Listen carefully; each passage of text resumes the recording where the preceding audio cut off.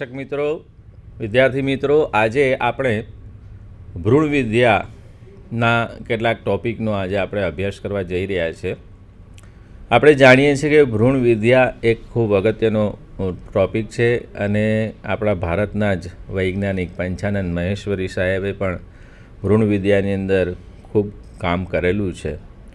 તો આખો જે ભ્રૂણ છે અથવા તો ભ્રૂણ વિદ્યા છે આપણે કોને કહીએ? તો કે જે ભ્રૂણ હોય વનસ્પતિનો, એ વનસ્પતિના આપણે માત્ર આજે વનસ્પતિની જ વાત કરીશું, તો વનસ્પતિના જે ભ્રૂણનો વિકાસ છે, તેના જુદા જુદા કમ્પોનન્ટ્સનો જે વિકાસ છે એને આપણે ભ્રૂણ વિદ્યા હેઠળ આપણે લેતા હોઈએ છીએ. હવે ભ્રૂણની સાથે સાથે, એટલે કે ભ્રૂણનું ડેવલપમેન્ટ કેવી રીતે થાય છે? ભ્રૂણ શેમાંથી ડેવલપ થાય છે? આ બધી જ વસ્તુઓ ફલન કોને કહીએ છીએ એ પહેલાંની રચનાઓ જેને આપણે અંડકોષ છીએ કે બીજી કોઈ પણ વસ્તુઓ છે, પરાગરજ છે, વગેરે જુદી જુદી વસ્તુનો વિકાસ કેવી રીતે થાય છે, જુદી જુદી વનસ્પતિઓમાં તેની રચનામાં શું શું તફાવત હોય છે, આ બધી જ રચ, આ બધી જ જે વાતો છે તેને સાંકળતું જે આપણે વિજ્ઞાન છે તેને આપણે ભ્રૂણ વિદ્યા તરીકે ઓળખતા હોઈએ છીએ. મિત્રો, ભ્રૂણ વિદ્યાની અંદર એક મહત્ત્વનો એક ટૉપિક છે જેને આપણે ભ્રૂણપુટ કહીએ છીએ. એટલે કે અંગ્રેજીમાં તેને એમ્બ્રિયો સેક તરીકે ઓળખવામાં આવે છે. તો આ જે એમ્બ્રિયો સેક છે, એ એમ્બ્રિયો સેક એટલે કે ભ્રૂણપુટનું જે નિર્માણ છે, એનો જે વિકાસ છે, એ જુદી જુદી વનસ્પતિઓમાં જુદા જુદા પ્રકારનો હોય છે. કોક વનસ્પતિની અંદર આઠ કોષીય ભ્રૂણપુટ જોવા મળે છે, કોક વનસ્પતિમાં સોળ કોષીય જોવા મળે છે, તો કેટલીક વનસ્પતિઓમાં ચાર કોષીય ભ્રૂણપુટ જોવા મળે છે. તથા તે ભ્રૂણપુટની અંદર કોષોની ગોઠવણી પણ જુદી જુદી જગ્યાએ જોવા મળે છે.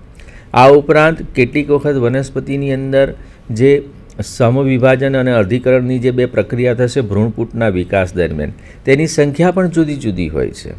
તો આ બધી જ વસ્તુઓ જે છે, એ બધી જ વસ્તુઓને આપણે આજે આવરી લેવાની છે. મારી સાથે મારા મિત્ર કલ્પેશભાઈ છે, કલ્પેશભાઈ ભટ્ટ કે જે ભટ્ટ સાહેબ છે.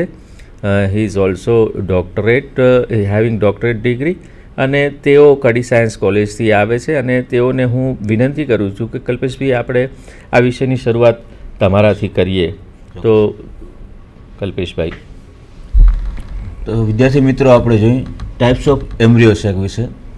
તો ટાઈપ્સ ઓફ એમ્બ્રિયો શેક વિશે આપણે જોઈએ. પહેલાં કે એમ્બ્રિયો શેક શું છે એમ વિશે સાહેબે મોદી, ડૉક્ટર મોદી સાહેબે વાત કરી, ઘણી સરસ વાત કરી.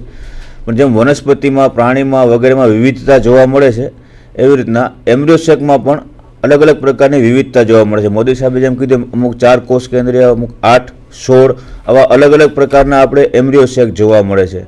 તો વિદ્યાર્થી મિત્રો, એમ્બ્રિયો શેક એટલે શું છે? તો જનરલી વનસ્પતિ, પ્રાણી વગેરેમાં પણ આપણે આજે જે અભ્યાસ કરીએ છીએ, એ ફક્ત વનસ્પતિની અંદર જોવા મળતા વિવિધ વેરિયસ ટાઈપ્સના એમ્બ્રિયો શેક કયા કયા પ્રકારના જોવા મળે છે, એના વિશે આપણે જોવાનું છે.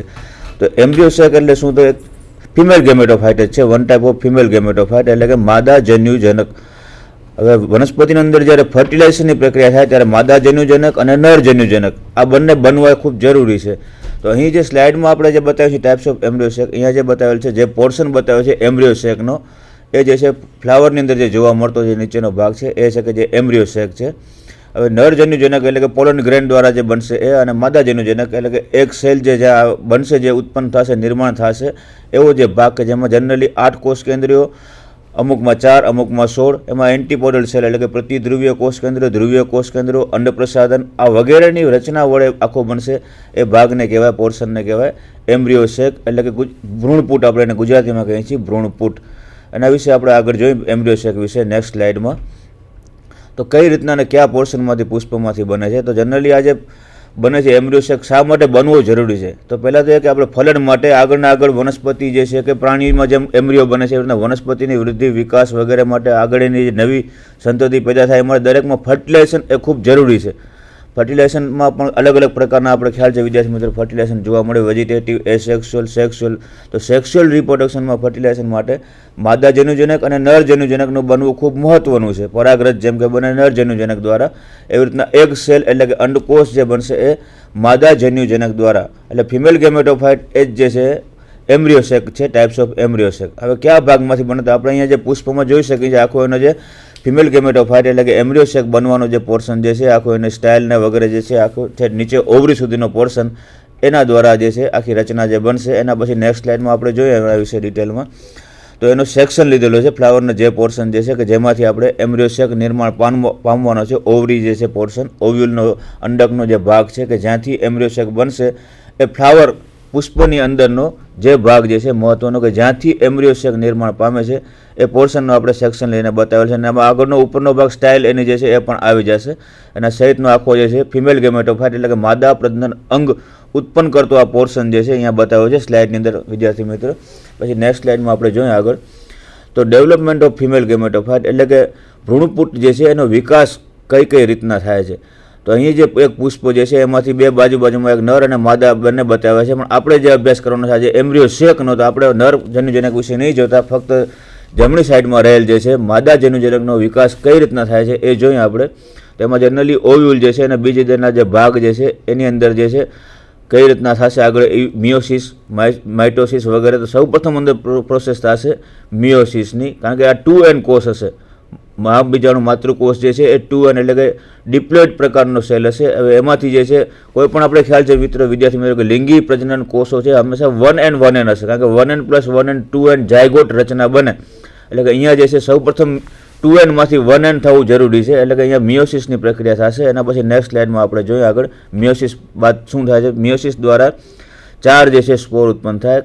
આ જે છે, ક્યાં ઉત્પન્ન થશે? તો બધું આ જે પોર્શન સ્લાઇડમાં આખો તબક્કાવાર બતાવેલ છે, એ જે ભાગ જે છે, એની અંદર આવા મેગાસ્પોર ઉત્પન્ન થશે. ત્યારબાદ નેક્સ્ટ સ્લાઇડમાં જોઈએ આપણે. હેપ્લોઇડ પ્રકારના એટલે કે એકકીય પ્રકારના કોષો ઉત્પન્ન થશે અને છેલ્લે જ્યારે જે છે મિયોસિસ બાદ માઇટોસિસની પ્રક્રિયા થશે અને માઇટોસિસ થયા બાદ ચાર પહેલાં મહાબીજાણુ માતૃકોષ, ત્યારબાદ જે છે માઇટોસિસની ફરી પ્રક્રિયા એકવાર બીજી વાર રીતના બનશે.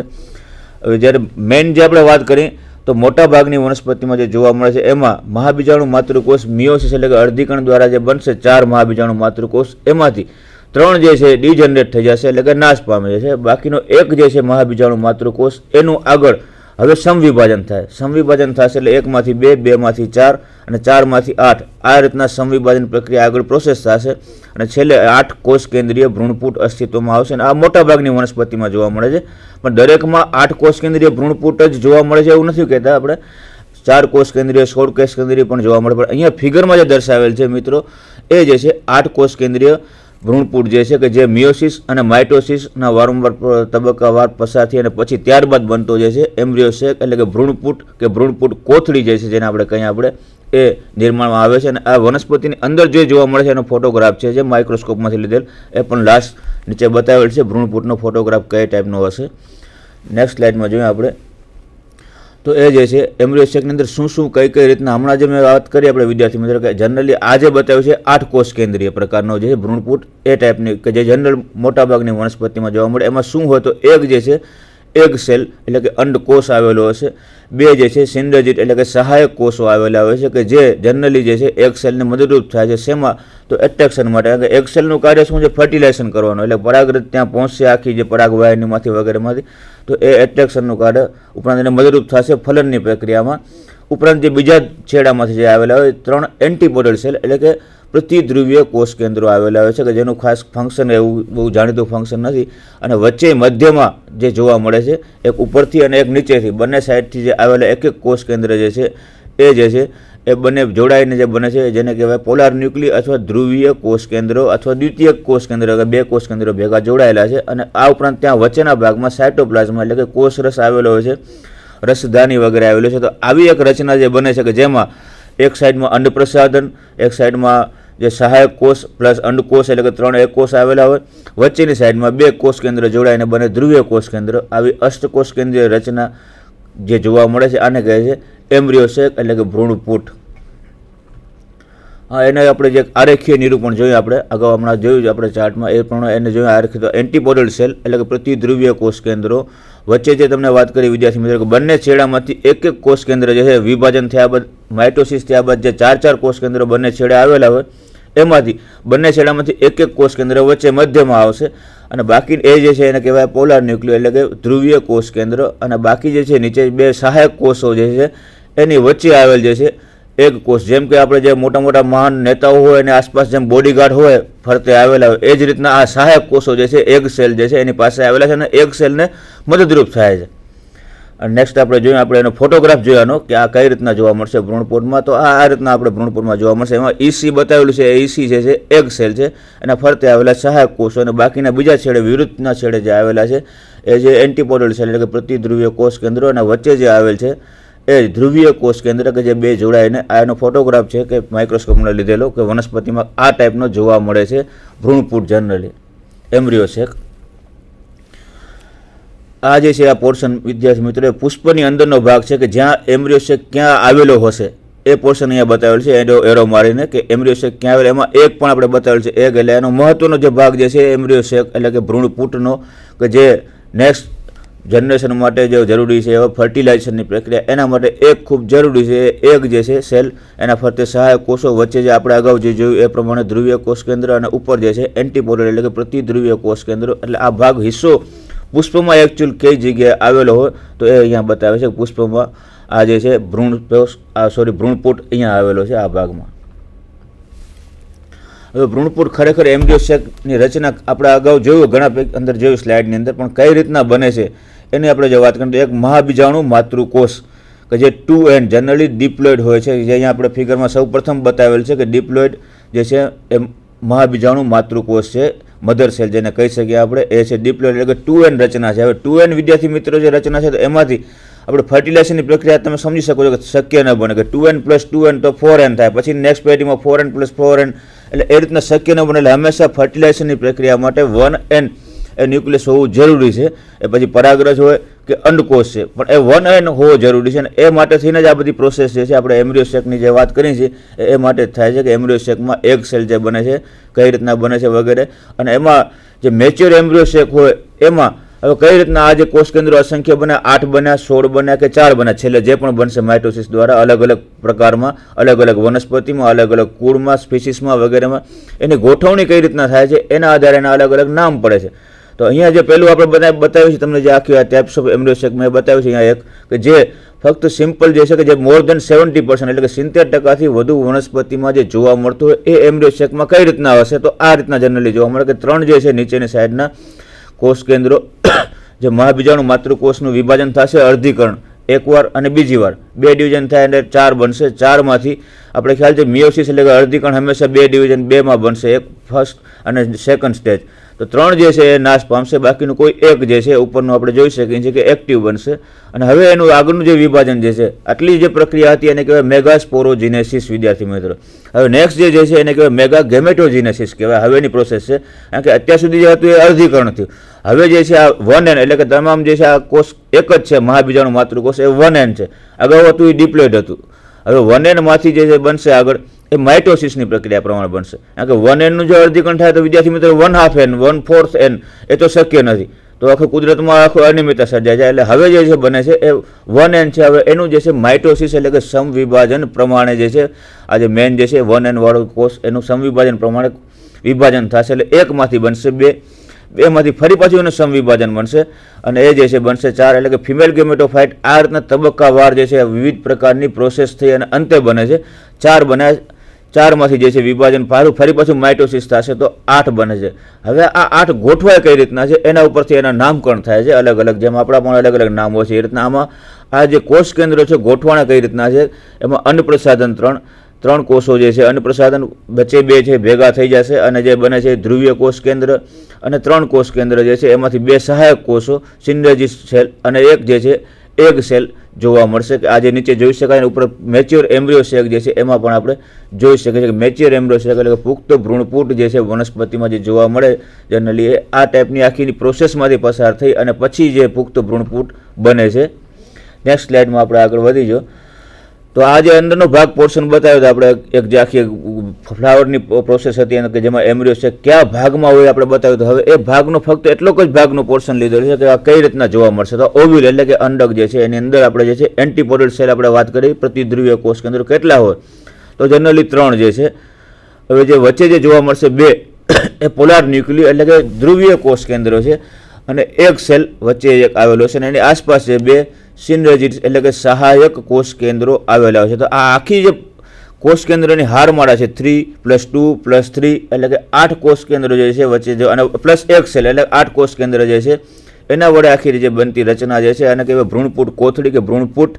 અને આ જે છે એને આપણે આખું એમ્બ્રિયો શેક એક પ્રકારનો કહી શકીએ કે એમ્બ્રિયો શેક જે છે નેક્સ્ટ સ્લાઇડ હવે વિદ્યાર્થી મિત્રો ટાઈપ્સ ઓફ એમ્બ્રિયો શેક વિશે જે છે, વધુ વિગતવાર માહિતી મારા સાથી મિત્ર ડૉક્ટર નૈનેશ મોદી સાહેબ કે જે અમદાવાદની પ્રખ્યાત એમજી સાયન્સ કોલેજ તમે દરેક જોણ જાણતા જ હશો નામ એમજી સાયન્સ કોલેજનું કે કોઈ પણ વિદ્યાર્થી ગુજરાત રાજ્યમાં એમજી સાયન્સ વિશે ન જાણતો એવું ન બને, એ કોલેજના ડૉક્ટર નૈનેશ મોદી સાહેબ જે છે, એ આપને થોડું સમજાવશે. મિત્રો એમ્બ્રિયોસેક વિશે સરે કહ્યું કે ભ્રૂણપૂટ એટલે કે ભ્રૂણપૂટ જે છે, એ કઈ જગ્યાએ આવેલો છે? તો આપણે એના વિશે જાણ્યું કે ભ્રૂણપૂટ જે છે તે સામાન્ય રીતે વનસ્પતિની અંદર એના સ્ત્રી કેસરની અંદર આવેલું હોય છે.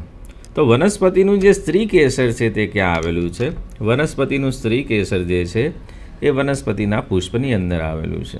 અને આપણે જાણીએ છીએ કે પુષ્પ જે છે એ વનસ્પતિનું લિંગી પ્રજનન માટેનું એક રૂપાંતરણ છે.